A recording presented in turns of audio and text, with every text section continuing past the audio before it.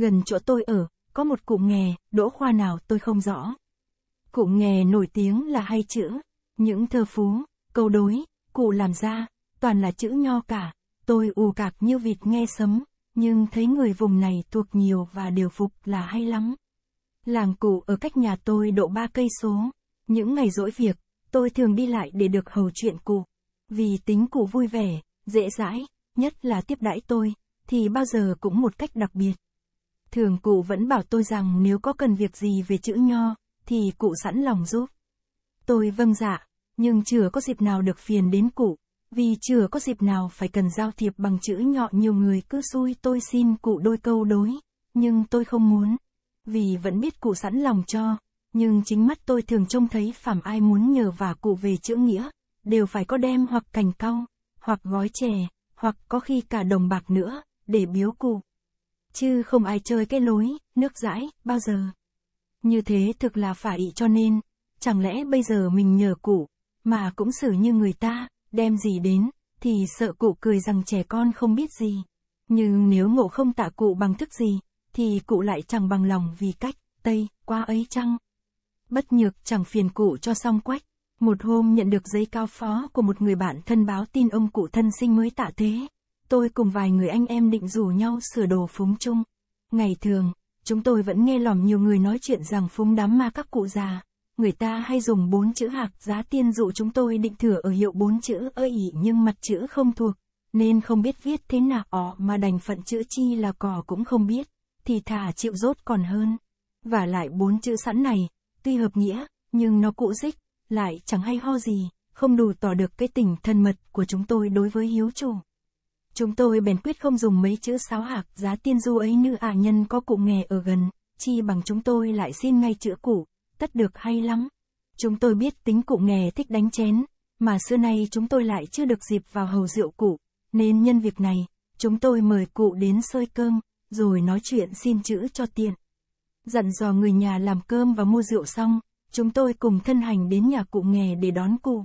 Hôm ấy, được ngày cụ thong thả và mắt trời, nên cụ đi ngay ị cơm xong, tôi nói, thưa cụ, tiện đây, chúng con có một việc muốn phiền cụ. Hừ, các ông lại muốn nhờ làm câu đối chứ gì? Dạ, thế thì việc quái gì phải bày vẽ ra như thế này cho thêm tốn. Bẩm có gì là bày vẽ, chúng con chủ ý mời cụ quá bộ đến xơi cơm để chúng con được hân hạnh hầu rượu cụ mà thôi câu đối gì. Bẩm câu đối phúng, phúng ai ỉ bẩm phúng ông thân sinh một người bạn thân. Được, đem giấy, bút, mực ra đây chúng tôi đưa lọ mực tây và bút sắt. Cụ không nghe, cười, tôi có quen dùng những thứ này đậu chúng tôi bèn chia nhau đi nguyện cho đủ bộ.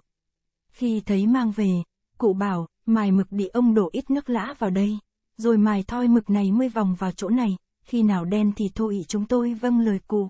Khi mực mài xong, cụ để các đồ dùng trước mặt, lên ngọn kính, rồi hỏi, viếng ông cụ thân sinh ra bạn thân phải không? Dạ, ông cụ ấy bao nhiêu tuổi bẩm mót 70 à thọ nhỉ? Con cháu khá cả đấy chứ? Bẩm vâng, Ông cụ ấy còn cha mẹ già không? Không ạ, à, bà cụ còn chứ? Dạ, được, ấy, phải biết đủ như thế, mới có thể giải tỏ hết cả tấm lòng mình được. Cụ nằm phục vị trước tờ giấy, chống tay vào cằm, nghiêm nét mặt lại, rồi rung đùi, cơ chừng để nghĩ. Chúng tôi ngồi chắp tay, yên lặng cả, để khỏi làm rối mất mối văn chương của cụ nghề. Một lúc, cụ ngồi nhổm dậy, nói, mà cần gì phải câu đố ý bây giờ những đám ma văn minh người ta có hay dùng câu đối nữa đâu để tôi nghĩ cho bốn chữ rõ hay, các ông có bằng lòng không? Dạ, được, cụ lại phục vị, cầm bút chấm vào nghiên, xoay ngòi cho tròn rồi viết. Chúng tôi trâu đầu cả vào để nhìn tay cụ. Đầu tiên, cụ nắn nót viết một dòng chữ về mé tay phải ở tờ giấy, chỗ để niên hiệu, bảo đại nhâm thân niên trọng hạ nhật. Rồi cụ đưa phát tay sang mé trái tờ giấy, viết luôn một dòng chữ nữa để lập khoản. Từ chấp, Trần Văn Ích, Trịnh Hiệu Y, Nguyễn Mạnh Z, Đồng Trang Vãn. Cụ hỏi, có phải tên các ông viết thế không? Dòng bên kia là đề ngày, tháng, năm đã ị giả Từ chấp nghĩa là hàng con, các ông cũng vào hàng con cụ ị giả Chỗ giữa vẫn còn để trống. Cụ lại hỏi, ông cụ có phải không nhỉ? Dạ, lúc ấy cụ lại ra dáng nghĩ ngợi hơn, gục hẳn mặt vào bàn tay và rung chân mạnh hơn trước.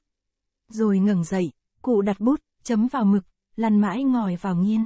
Chúng tôi lại phải im phăng phắc, không dám thở mạnh để cụ loạn trí, mất chữ hay, chăm chăm con mắt nhìn theo tay cụ.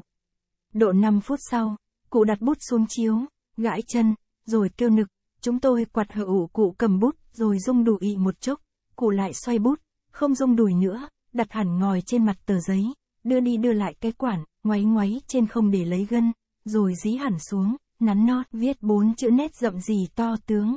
Viết xong, cụ nhổm phát dậy, trò vào từng chữ mà giảng cho chúng tôi được hiểu thấu cái hai cụ nghề rằng rằng, hạc là con hạc, giá là xe, tiên là cõi tiên, du là chơi, các ông hiểu chả hiểu rồi, chúng tôi lườm nhau, chỉ sợ có anh nào cười thì chết.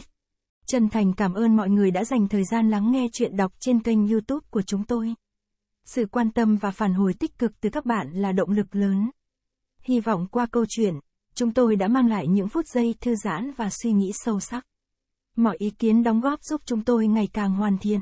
Hãy tiếp tục ủng hộ chúng tôi bằng cách đăng ký kênh, chia sẻ và để lại những bình luận ý kiến của bạn.